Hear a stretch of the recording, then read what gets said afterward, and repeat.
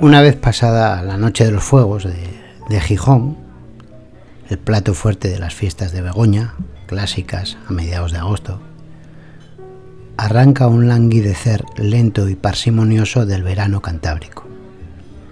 Las tardes se tornan frescas en el crepúsculo por, por los paseos del muro gijonés.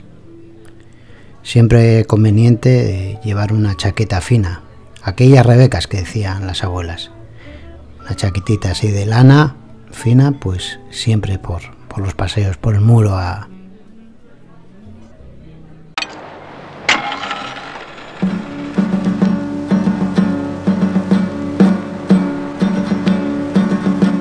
el final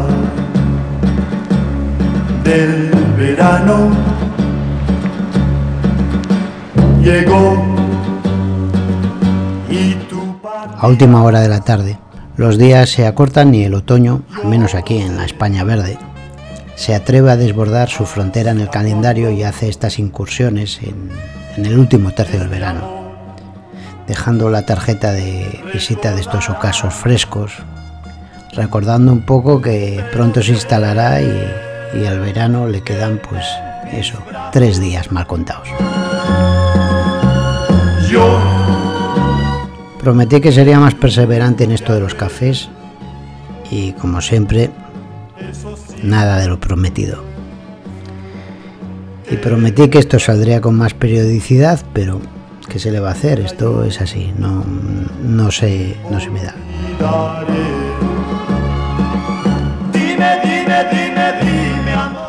Este café me, me fuerza un poco, este café, para, para fijar el, el final del verano en este verano pues han salido dos. ¿Qué le vamos a hacer? No, no puede ser de otra manera. Nunca, nunca, nunca, nunca más sentiré tanta emoción como cuando a ti te conocí y el verano nos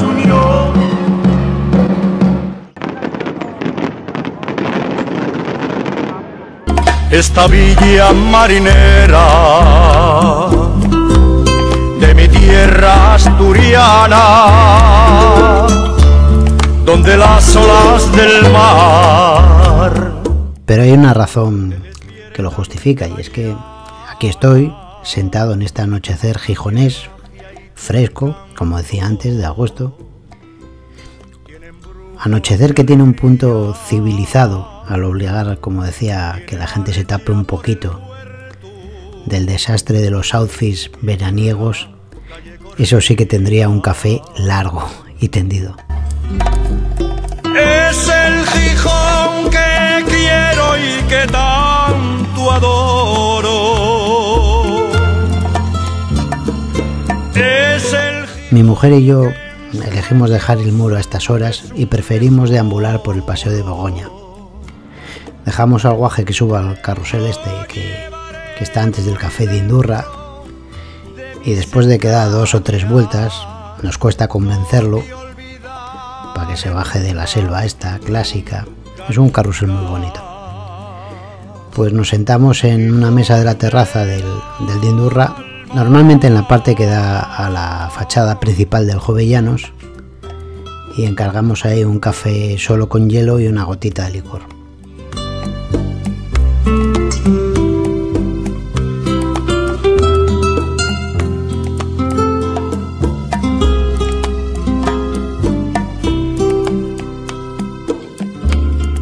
Una de las mejores partes de estos días veraniegos es quedarnos callados ahí en la terraza, dejar que el guaje trastee con los juguetes y cachivaches que le tienes que comprar para que se entretenga y observar indolentes a la gente pasar en este Gijón a un pleno de turistas.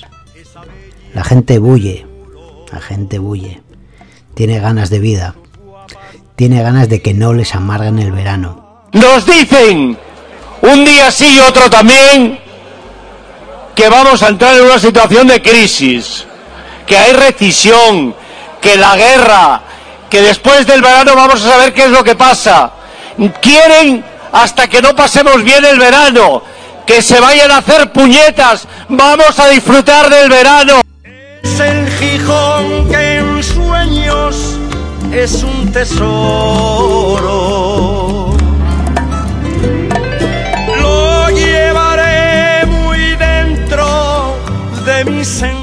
Al final, Pepe Álvarez, el líder este de la OGT, ha tenido éxito en tierras gijonesas. Bueno, les dicen que es de aquí asturiano. Bueno, es un catalán que se acuerda que es asturiano cuando le da la gana. Pero vamos, el grito es el mismo. Hacer puñetas y viva el verano. Veremos en qué acaba la cosa, ¿eh? Veremos en qué acaba la cosa cuando llegue septiembre.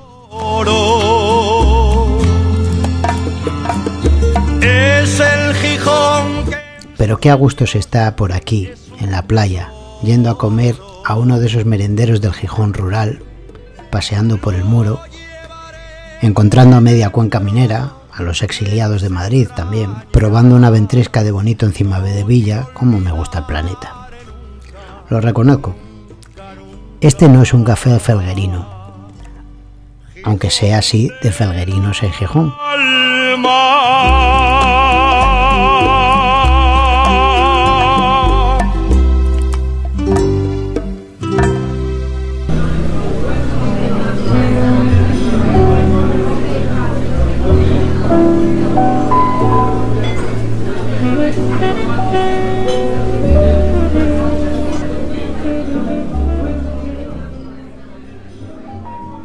Bueno, pues para tomar un punto de arranque, para llenar de contenido este café, para echarle y que la cosa pues tenga un poco, ya digo, hay que buscar una excusa para hacer, para hacer un café y rellenar los servidores a YouTube.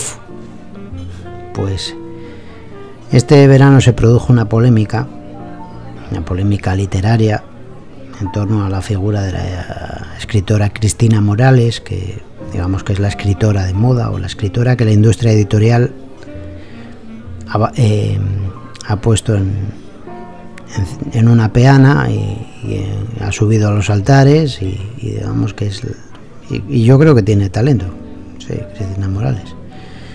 Pues esta Cristina Morales mmm, arremetía en, en una columna de Rock de Luz contra la serie que, que se iba a estrenar eh, por ese momento en Movistar, una serie que se titulaba Fácil y que estaba inspirada en la novela de Cristina Morales. Es más, la Cristina Morales había vendido los derechos de su novela a, a la productora televisiva. Esta, esta novela se llama Lectura Fácil, por ella obtuvo el Premio Nacional de Narrativa en 2019. Y entonces montó un lío en Rock Deluxe rajando de la, de la serie, rajando de la serie y diciendo, pues bueno, llamando la atención, en breves palabras. Víctor Lenore, pues claro, en, entró ahí a, a uña de caballo en la polémica desatada por, por Morales. Y, se puso de parte de los productores, dijo que era injusto, que, que no podía ser, que, que, oye, que esto no, no, las cosas no funcionan así. Y es más de en el en el artículo que el artículo se titulaba Cristina Morales, otra pataleta radical de una escritora mimada por el sistema, artículos largos, eh, perdón, títulos largos, que es lo que me gusta a mí, pues eh, en un momento determinado del artículo él ofrece todo su apoyo a la directora y al equipo de la serie, a quienes Morales destroza antes del estreno, impidiendo que puedan presentar su trabajo limpiamente ante los espectadores. ¿Mm? Pero es que, mmm, bueno, pues pues esto parece ser, pues, pues por la vista es lo fácil, ¿no? Se arremete contra Cristina Morales y, venga, y ya está. Pero yo aquí voy a defender un poco a Cristina Morales, por llamar la, la contraria a Víctor Lenore, nada más, y por, ya digo, llenar de contenido este, este café. porque Morales mm, a mí me parece que actúa coherentemente, al contrario de lo que pueda mm, parecer mm, como que sale de, tiesto cuando, o sea, se proclama anarquista, vive en Barcelona, está a favor de que incendien los los eh, contenedores, todo esto entra dentro de una lógica normal. O sea, Cristina Morales no es mimada porque sí por la industria editorial. Por cierto, eh, Lenore en el artículo habla de la industria cultural, eso no existe. Existe industria cinematográfica, industria editorial, industria eh, o negocio pictórico, pero yo industria cultural no sé qué es. Existe industria periodística vinculada a lo, editorial, a lo, cultural, que vuelvo a insistir, no sé qué es pues eh, ya digo, eh, Cristina Morales cumple perfectamente la función para la que ha sido eh, diseñada. Y eso es lo que voy a tratar de defender aquí en la medida de mis posibilidades.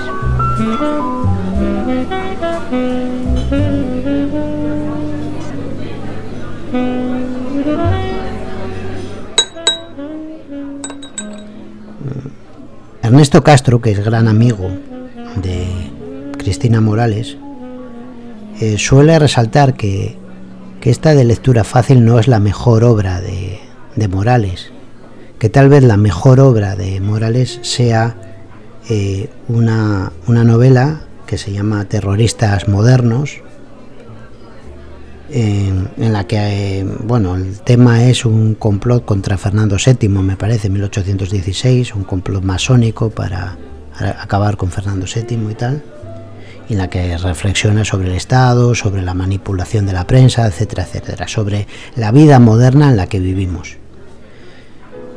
Eh, eh, bueno, puedo estar de acuerdo, a mí me parece que sí, que no la he leído, pero puede tener mucho interés esa novela aunque hay una novela que me llama también mucho la atención que es Malas Palabras. Malas Palabras y que publicó y que pasó sin pena ni gloria. Encontré un, artículo en el país en la que en la que se habla de ella y en la que se proclama en ese artículo a Cristina Morales como, digamos, el referente de los nuevos escritores. Y en esas malas palabras, pues eh, eh, se trata sobre la figura impresionante de Santa Teresa de Jesús, y, es una cosa que a mí me hizo gracia o que me llamó mucho la atención, porque yo encuentro una conexión entre Cristina Morales y Santa Teresa de Jesús. Es decir, Cristina Morales es una mujer mediterránea, ¿eh? cuando la escuchas hablar, con una personalidad un punto mesiánica, alunada, está como un poco ida, pero, es muy potente. A mí me parece que es un arquetipo de mujer que no se da en cualquier otra, en, otras latitudes. O sea, tú no encontrarás a una, a una, a una, eh, a una, a una Cristina Morales, yo creo que en Suecia o en Finlandia, encontrarás a Sana Morris, a la, es otro tipo. Si, fuese un teológicamente, últimamente Pedro Insua está en contra del tradicionalismo y la teología, pero las teologías conforman, son programas eh, ontológicos y ontológicamente Cristina Morales es, ese tipo mediterráneo, además muy peculiar de la península ibérica. Otra, otra si se me permite, zumbada de este calibre es Macarena Olona, que se nos ha puesto ahora a hacer el camino de Santiago, abanderando estas cosas, esto a las masas, ¿no? Las lleva. Eso es fenomenal, son, son cosas que pasan en España, pero que no te van a pasar en Suiza. Eso pasa en España, no te va a pasar en Suiza. Entonces, claro, Macarena Olona se pone eh, al frente del camino de Santiago y tras ella como una especie de Juana de Arco, eso se daría en Francia, como una especie de Juana de Arco, pero no es Juana de Arco, es Santa Teresa, se ponen en, eh, se ofrecen como, como, como, como salvadoras, como redentoras, la palabra es redentoras, ¿no? Y entonces tienen esa pinta de, de redentoras, ¿no? Eso, eso eh, pensando en, esta figura, y eso es lo que las vincula a Santa Teresa de Jesús. Santa Teresa de Jesús es lo máximo, es una fundadora de conventos, es digamos que una figura capital del catolicismo político, pero capital, eh, que llegó a inquitar hasta la propia Inquisición y después eh, la, formadora de la literatura mística por excelencia excelsa, o sea, es una fenómena. Cuando hablan de mujeres empoderadas, hay una mujer más empoderada que Santa Teresa de Jesús, con su red de conventos, con la organización de mujeres, etcétera, etcétera. Me parece fabulosa, me parece simplemente fabulosa. Pues eh, estas, estas, este carácter, este carácter de, que, se da muy especialmente aquí, sobre todo en la península ibérica, eh, eh, esto lo explicaba muy bien, por ejemplo, bueno, en el milagro, en un programa de la clave en el, que trataba sobre el milagro de Fátima, cuando Sor Lucía, la pastorcilla que, sobrevivió a, la visión de la Virgen de Fátima, eran tres pastorcillos, dos las picharon y Sor Lucía pues sobrevivió y además era la depositaria de, de unos misterios o de unos milagros que iba revelando y tal. Entonces, eh, bueno, hace un análisis de Sor Lucía en, un análisis fantástico en, el programa y a mí me parece que ese, ese esquema psicológico, ese arquetipo psicológico, que ya vuelvo a decir que yo creo que el canon, el modelo es Santa Teresa de Jesús, encarna perfectamente tanto en Macarena Olona como en, como en esto, en, en Cristina Morales. Y, y, aquí dejo un poco como, como lo explicaba bueno. Yo, el planteamiento, o uno de los múltiples planteamientos que haría en este asunto es el siguiente. La profecía de Fátima, para centrarnos en este asunto, yo creo que siguiendo la concatenación de, de estas apariciones, mm, yo creo que se puede percibir perfectamente a partir de la tercera profecía y a partir de la segunda se descubre, yo creo, en Lucía un temperamento realmente extraordinario de, capacidades psicológicas, sencillamente, una, una, superdotada, por así decir, de capacidad de idear, de imaginar, de tener imágenes eidéticas, cosa que los psicólogos están perfectamente y todas las hemos tenido. Entonces, esta, esta niña, por razones que ahora no puedo explicar, se configura ya en las primeras apariciones de los ángeles como una niña dotada de una gran voluntad de poder. Es un caso adleriano, típicamente. Tiene una gran voluntad de poder. Voluntad de poder que aparece ya en las primeras apariciones cuando le anuncia a la Virgen que van a morir los dos competidores que tienen, ¿verdad? Es decir, el, niño y la niña van a morir enseguida ella va a quedar sola. Entonces, el, fundamento de mi análisis interno de las profecías de Fátima es la desproporción total entre lo que la Virgen exige y lo que, y lo que ella pide. A saber, en la tercera profecía, la tercera profecía, que es en julio, me parece, del 17, que es cuando, profecía que ella escribe el año 29 y además deja, deja colar, por así decir, un dato importantísimo que a mi juicio demuestra la superchería completa del asunto. En el año 17, en julio, dice que el próximo Papa Pío XI, entonces estaba Benedicto XV y Pío XI iba a empezar el año 22. Ella dice que Pío XI, claro, esto es una superchería evidente, la palabra superchería es un insulto, Gustavo. Superchería quiere decir que ella no lo dijo entonces, eh, que ella no podía de ninguna manera decir Pío XI porque no existía. Aplicamos la teoría del caos, ¿verdad? Era imposible completamente. Ni Dios Padre podía decir que era, ni, Dios Padre que tenía la ciencia media podía decir que iba a ser Pío, Pío XI, ¿verdad? Entonces, y además hay datos suficientes para poder sospechar que este dato lo añadió retrospectivamente. Entonces, ahora termino. En esta tercera profecía. De una falsificación documental. Bien, en esta tercera profecía ella recibe la revelación de una profecía condicional, como refería antes. La condicional es esta. Voy a decir, voy, dice la Virgen, yo te prometo que voy a aparecerme, es decir, anuncia en el futuro que voy a aparecerme para decirte que si se consagra la humanidad entera al corazón de María, entonces se convertirá Rusia y otra serie de cosas. De manera que entonces ella, en la tercera aparición, anuncia que va a producirse una, petición de la Virgen y la petición va a ser condicional. Ahora bien, esta condición se cumple 10 años después, el año 29. cuando está en Tui y cuando tiene la revelación de la Santísima Trinidad, revelación que, en fin, no quiero entrar en ella porque ofendería seguramente a, mi no, Por mí, ofendería totalmente a mis No, no, no, no puede Pero entrar. Aquí ya no es Adler, es Freud, ¿verdad? Lo que tiene que entrar aquí para, interpretar este Pero asunto. Vamos, puedes entrar. Es ¿eh? Freud es la Santísima Trinidad, en donde está Jesucristo, Dios Padre, cayéndole unas gotas de sangre por debajo de los faldones, ¿verdad? Que se le meten por, por la hostia, según dice ella, y van a la Virgen, que está abajo, en una posición absolutamente irregular, y lo que le pide es esto. Entonces tiene la revelación de Santísima Trinidad, revelación que no, que no ha confesado porque, porque yo creo que es obscena, pero en fin, eso es al margen.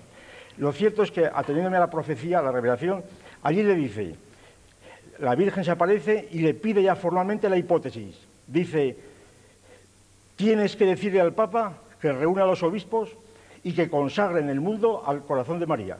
Porque si no, es un contrafáctico, porque si no, la guerra va, va a estallar una guerra y van a ocurrir una serie de cosas y demás. Y si no, Rusia no se convierte, etc.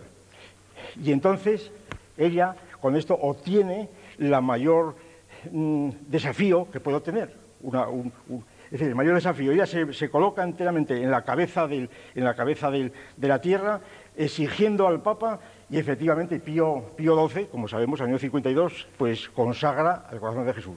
¿Qué tiene que ver todo esto? Luego además predice la guerra, ¿verdad? Predice la guerra, se equivoca en un año, luego ella reinterpreta, al mismo tiempo que lo de Pío XI, reinterpreta que es Hitler, ¿verdad? El, año 38, que se, se, puede considerar como el principio de la guerra.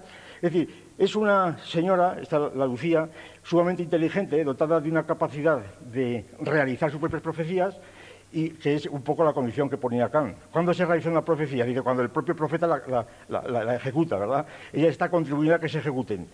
¿Qué tiene que ver entonces? ¿Qué tiene que ver? Yo creo que es, una, es un grado peligrosísimo que en una, en una situación pública como esta se esté siquiera planteando la posibilidad, o poniéndola al mismo nivel, o poniendo al mismo nivel, la posibilidad de que los acontecimientos del Este tengan que ver con la profecía de Fátima, creo que es simplemente el tipo de esta conexión. Es tal delirio desde el punto de vista eh, que a mí me parece muy bien, me parece muy bien que, ustedes lo crean en ello, eh, que creáis en ello, pero que no tengan la insolencia de llamar esto racional o, o simplemente razonable. Esto es absolutamente disparatado, es un puro delirio. Padre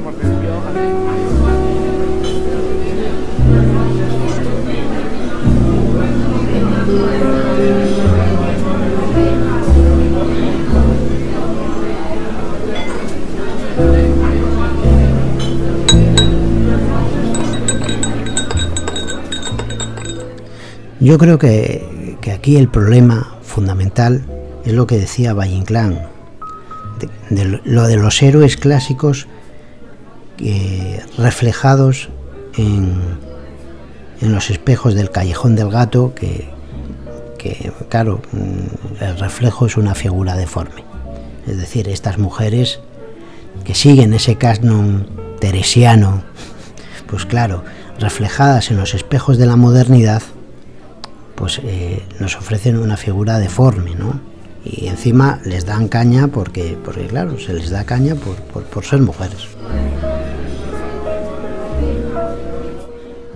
Volviendo a Cristina Morales, hay que volver a Cristina Morales. Eh, ella, para su desgracia, pues no ha nacido en los tiempos de Santa Teresa. No ha nacido, ya digo, en, esos tiempos fabulosos de mujeres recluidas en, sus conventos, pero que eran eh, puro empoderamiento, al contrario de lo que se piensa ahora. Vamos, eh, por ahí yo escuchaba en alguna en alguna conferencia a Beatriz Preciado, hoy Paul B. Preciado, que ella en su juventud lo que quería ser era abadesa de un convento y estar entre mujeres, etcétera, etcétera. Eso era lo que le molaba. Y, y cuando escucho a ciertas feministas de última ola, Brigitte Basayo tal, digo yo, joder, el otro día estaba escuchando una conferencia de Brigitte Basayo y dije yo, coño, está descubierto los conventos. O sea, empezaba a hablar del poliamor, después de llevaba a la comunidad, daba un giro, ya, los, ya lo pondré otro día. Y dices tú, hostia, han descubierto el convento de monjas. Pero lo que decimos, Cristina Morales no ha nacido en el tiempo de los conventos. Cristina Morales ha nacido en el siglo XXI. Ni siquiera ha nacido en el momento del auge de la modernidad de la industria editorial, sino que en su decadencia. El problema es que los arquetipos de la industria editorial no acaban de, morir y las nuevas fórmulas de, de, cristalización de la escritura, que yo creo que no serán las novelas ni, ni, ni, los, ni las construcciones editoriales, yo soy, mm, estoy en contra de eso completamente. O sea, yo creo que las industrias editoriales, ya lo he dicho alguna vez, o sea, es mi predicción. Mi predicción es que las industrias editoriales acabarán transformándose en eh, grandes productoras de podcast. Ya, ya prácticamente la gente es lo que se dedica a escuchar las novelas por, por audio y que, y que los escritores dejarán de ser novelistas dejarán de ser autores y se convertirán en guionistas de estas productoras, pues como, les, como las mayors del, del siglo XX dorado de Hollywood exactamente igual. Eh, tú vas a la oficina, escribes ahí y tal, desaparecerá. Este es, y aquí vamos al asunto, el concepto de autor, el concepto de genio. ¿eh? Aquí está el asunto. La idea de autor es una de esas formas moribundas que aún eh, se arrastra en este declive de la industria editorial. Y el concepto de autor o de creador, que es lo que, lo que es nuevo, que, es la palabra que, en la que se transformó últimamente autor, y que está vinculado a la idea de genio. Sobre el concepto de genio tiene un excurso Nicole Holsenthal en, en la conferencia, esta última que dio en la Fundación Gustavo Bueno, a la que yo asistí, y, que construye cómo toda la idea de genio procede, por ejemplo, de del médico hispano, de, los intelectuales eh, médicos del siglo XVII español, eh, o arte de San Juan, con la idea de ingenio. Cómo esa idea de ingenio, que además es una idea casi muy materialista, se acaba transformando en el concepto actual de genio, que es un concepto, como diríamos en Twitter, eh, carolingio, que es franco-alemán, del mundo centroeuropeo, idealista. El genio como clase única, universal, como originalidad sin repetición. ¿no?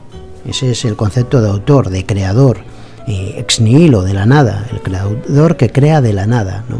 por su genialidad, que se autosostiene como, como el varón de Munchausen se sostenía en el aire tirándose de sus propios cabellos. Exactamente es eso, el, el genio. Las acusaciones que hace Víctor Lenore eh, contra la radical, contra las posturas de Cristina Morales, en realidad son injustas porque Cristina Morales sigue esa línea, sigue la línea del geni, del genio que, del que habla eh, Nicole Holsenthal. Pero antes yo he subido el excurso que son unos ocho minutos, es un coñazo, pero bueno, como en este café hay que ir subiendo cosas, subo estos ocho minutos para el que tenga interés que escuche que escuche estos, estos ocho minutos y esta, este hallazgo de Nicole Holzenthal. Franz Bach eh, no solo demostró como la obra mm, de eh, Lessing, eh, sea, este gran representante de la ilustración, primero fue moldeada por el humanista español sino también cómo, sin embargo, Lessing luego deja, dejó de mencionar a Huarte tras su traducción, borrado. ¿Mm? El término alemán de genie, genio. Quiero hacer una pequeña excursión, si me, lo permiten. Es fundamental para la cultura alemana. La cultura como... Eh, a ver, el idealismo alemán tomaba, o sea, especialmente Fichte, tomaba la cultura como un producto de una nación que, que bueno, por decirlo así rápido, que se quería formar y el mito especialmente formulado por Fichte para reivindicar la existencia de una nación alemana eh, y, no, eh, y, por lo tanto reivindicar un Estado alemán para esta supuesta nación alemana, que era inexistente hasta el momento, está aquí, em, yo creo que es muy importante aquí. ¿vale? Em, Lessing había traducido a veces eh, la palabra ingenio de Huerte muy materialistamente como Köpfe, cabezas, pero otras veces como genio, término que nunca había usado Huarte. En el título de la traducción de Lessing que daba la interpretación, por decirlo así, materialista eh, de cabeza. Y en el cuerpo del texto, o sea, la argumentación, se había infiltrado la interpretación ya espiritualista. De, eh, ahí usa la palabra genie para el ingenio de Huarte. Generalmente se reconoce que primero en Francia y, luego en Alemania el término genio eh, ya no se basaba en la conceptualización antigua, sino en un ingenium, ¿eh? en un talento natural innato. Se suele reconocer también que es durante el Renacimiento cuando la palabra genio comenzó a utilizarse para describir la creatividad artística o fuente de inspiración en lugar de un origen divino. Pero llamativamente en este contexto no se suelen mencionar nombres de autores eh, que pueden haber traducido esta moderna concepción del ingenio, critiquen, que igual simplemente es mi desconocimiento. Se suele saltar por encima del siglo XVI directamente al y saltar directamente al siglo XVII, eh, eh, donde tiene lugar la adopción francesa de Huarte. Una hipótesis. Es en, eh, alrededor de 1662, tras la toma de poder de Luis XIV, cuando se plantea la cuestión cuál sería el decorado adecuado para ilustrar este gobierno. Y es allí donde entre otras ideas, viene como anillo al dedo la idea moderna de genio, aunque con un giro espiritualista, creo que, en Huarte no tiene en absoluto. Tras la Grey de Anciens y las Modernes, eh, o sea, la Grey des Anciens y Modernes francesa, de 1687, es cuando el término se extendió de repente y dominó los debates estéticos. Genio designaba ahora, por un lado, al individuo, esto, en esta interpretación espiritualista, el artista que crea desde dentro de sí mismo. En alemán, el Schaffende, der Schaffende, o sea, el creador se traduce al alemán como Schaffende o Schöpfer. Ambos son términos muy cogidos de la, de la terminología mm, teológica, bíblica, de creador.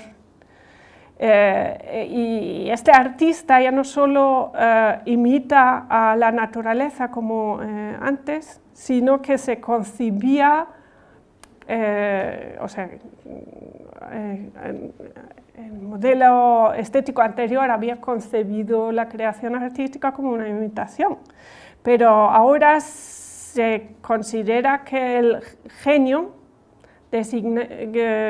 era el que completa con su obra a la naturaleza. Naturaleza, por supuesto, en plan mm, eh, como hay que criticar el método de la naturaleza. Y por otro lado, genio tenía este, o sea, genie, y genie en alemán, designaba el don y el talento de, este creador. ¿eh? Y eso eh, es la segunda, esta segunda denotación, este don y talento, esto es puro arte.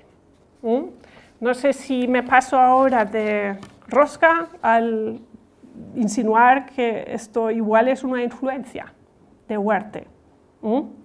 Según Alfonso Martín, el romanticismo una, eh, produjo una auténtica revolución eh, cultural rechazando el proceder de eh, imitación elaborada cuando se escribía de la época anterior, considerando esto también como algo ilegítimo. Esto es, según este autor, una revolución y que los idealistas y románticos eh, eh, alemanes ahora solo admiten la originalidad, lo que llaman ellos ah, originalidad a la hora de crear o escribir. Como consecuencia, habrían que evitar fuentes externas, por ejemplo, teóricos extranjeros. A mí me parecería que sería una una, una reacción, una consecuencia lógica, lo cual favorece a que se haya borrado lo ya adquirido. Quiero decir que entonces si fueran sinceros, los románticos deberían considerar ilegítimo el uso sobre lo ingenioso, eh, siendo una teoría extranjera como base de su genie especialmente ya simplemente los alemanes respecto a los eh, eh, franceses, pero si es también una adaptación del ingenio a Reni eh, por parte de España aún más visiblemente. Desde luego todo esto se hace sin citar, o sea que habla, es la aplicación de un doble rasero, eso creo que hay que decirlo. Con, lo cual mi hipótesis es pues que el Reni romántico idealista se debe a una influencia entre, otros por lo menos de Huarte. Aunque sea más bien una reinterpretación, por no decir una malinterpretación, de lo que era el término ingenio de Huarte o en español, véase también Cervantes, donde significaba, el significado hoy un talento basado en lo físico, del individuo. Para Huarte era la teoría eh, galenista de los humores. A manos de Lessing, seguido por idealistas y románticos, se convierte en algo geistig, espiritual. Para contrastar, cabe también una recepción pragmática, esto es totalmente distinto. Para cambiar un poco de tapiz, eh, de Huarte, que sería... Decía, se lo contaba a Luis Carlos Martín Jiménez, a Santiago, a Santiago Benito López, le comentaba que cuando le preguntaban, le preguntaban por, la filosofía de bueno, la filosofía de bueno, si la filosofía de bueno se podía implantar, si tal, políticamente, etcétera, etcétera. Decía mm, Martín Jiménez que la filosofía ya viene en los, en los políticos, no se implanta. Uno no llega al Ministerio de Economía y te implantan una filosofía, que vienes con la filosofía ya implantada de casa, del sistema educativo. Que tú has ascendido por un sistema educativo que tiene determinadas ideas, determinadas cristalizaciones eh, eh, o determinadas figuras eh, ideológico y, sistemáticas concatenadas unas con otras y tú vas ascendiendo ahí a, las instituciones. Para, para, operar en esas instituciones tienes que, que en esas, en esas eh, ideas, en esas cristalizaciones. Pues lo mismo se puede decir de, del mundo cultural, de la industria editorial. Uno para ascender en el, en el escalafón literario debe imbuirse de, las, del sistema ideológico que, envuelve a la estructura de la industria editorial. ¿Y cómo se envuelve uno? Pues se envuelve uno fácil.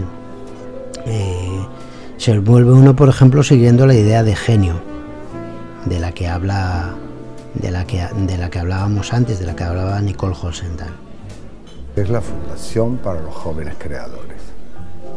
Es una idea que tuve desde pequeño, desde que paseaba con los autores de cántico, que no eran solo escritores, que eran también eh, pintores y eran músicos y eran orfebres, y entonces me sacaban, pero como me, llevaban tanta diferencia de edad, me sacaban realmente a hacer pipí, como yo saco a los perrillos, y yo los admiraba tanto y los quería tanto, y decía, si todo esto se juntara, es decir, si ellos hablaran de lo que hacen, en vez de distraerse juntos, eh, sería una multiplicación, sería una fecundación cruzada. Y esa idea la tenía yo desde los 14 años que entré en la universidad.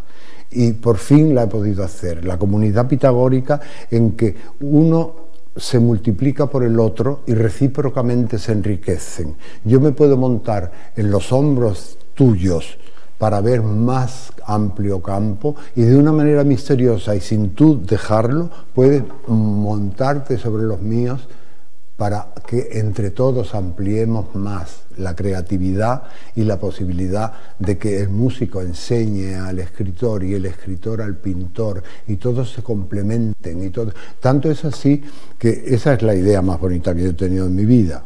Bueno, a mí cuando me lo comunicaron entré en estado de shock y ya al rato empecé a llorar. Aparte de, aparte de eso, eh, está suponiendo para mí un conocimiento muy profundo del oficio. Eh, cuando digo oficio, quiero decir la capacidad personal de sentarse y escribir, eh, sin, sin, ser víctima de las pasiones de uno mismo o del arrebato o de, o de la crítica fácil y de qué bien escribo. Eh, me está sirviendo sobre todo para saber hasta dónde puedo llegar. Eh, puedo escribir una hora, dos, mm, qué capacidad tengo de autocrítica y sobre todo mis compañeros. Con mis compañeros no tienen piedad y así de, hacer para criticar mi, mi, obra, para que me den palmadita en la espalda y ya, está, ya están los enemigos.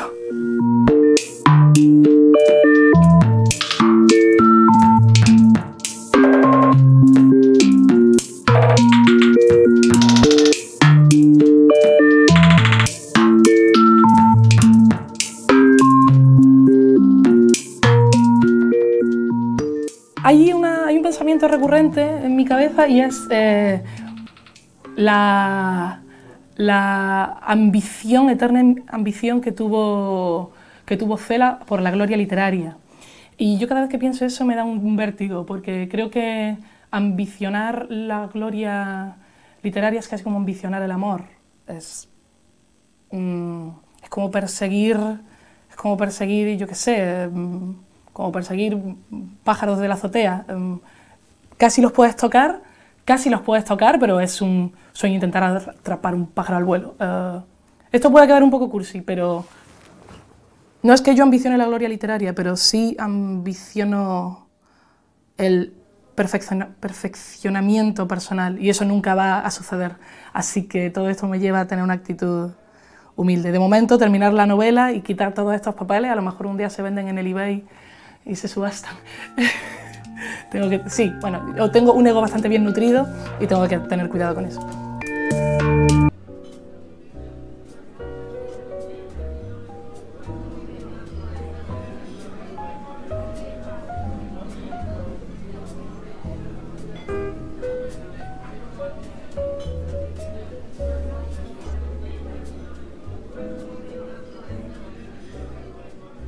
Y aquí tenemos las bases la filosofía implantada en su formación de Cristina Morales, ¿no? Cristina Morales fue becada por la Fundación Antonio Gala. Antonio Gala explica un poco ese ideal de los creadores, o sea, asume completamente la idea de Jenny, de genio, de la que hablaba Nicole Holsenthal, completamente asumida, funcionando hoy en el siglo XXI. Una idea que yo creo que está troquelada en torno a las a los ámbitos de la industria eh, de la tipografía, de, la edición, de la edición de textos y de libros, ¿no? Pues eso, claro, Gala es un anciano, hoy, hoy no está muerto, pero bueno, está en una ancianidad, en la senectud total, vamos, está desaparecido completamente.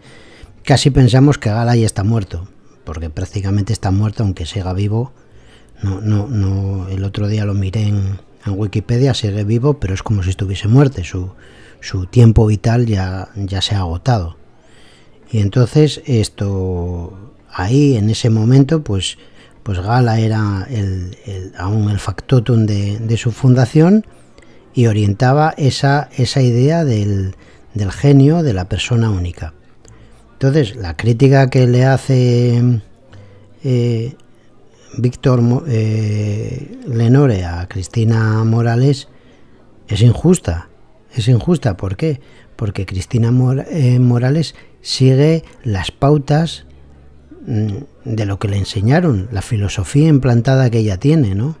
Em, ella tiene ese carácter españolote de, es lo que contrasta, claro, es lo que tiene ese carácter de, de mujer ibérica mediterránea casi, casi vocacionalmente dispuesta a ser una santa, a redimir al mundo, y encima le ofreces un sistema ideológico como es el de genio de clase universal, único, incomparable, que sí, que se puede subir a lomo de, a lomos de o a hombros de, de un pintor o de un músico, etcétera, etcétera, pero al final eh, tiene que ser un ser único, el creador, el que, el que crea, como Dios, pues claro, todo eso implica estar constantemente distinguiéndose y eso es lo que le pide la industria editorial.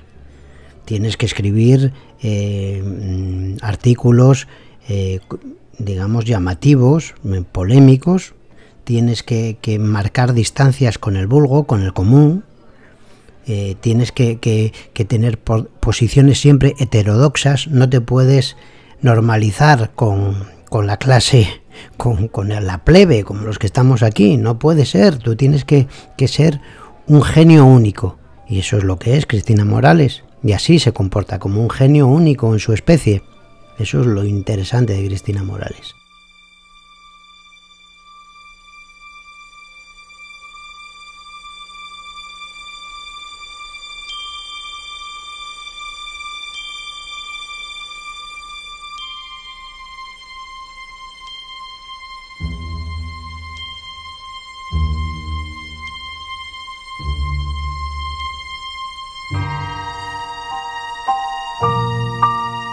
La crítica de Víctor, de Lenore es injusta, porque además esta tradición viene de lejos, arranca ya de Larra, que era un pedazo de imbécil que se acabó suicidando, pero que era un tío coñazo, que lo tenía todo, absolutamente todo, y no paraba de rajar de España, de los españoles y de tal, y cuanto más elogios y más le daban, más insoportable y más coñazo era que, que dices tú, joder, si no se suicida él, le pego el tiro yo, a este imbécil, a este idiota que era Mariano José de Larra, pues esto es lo mismo.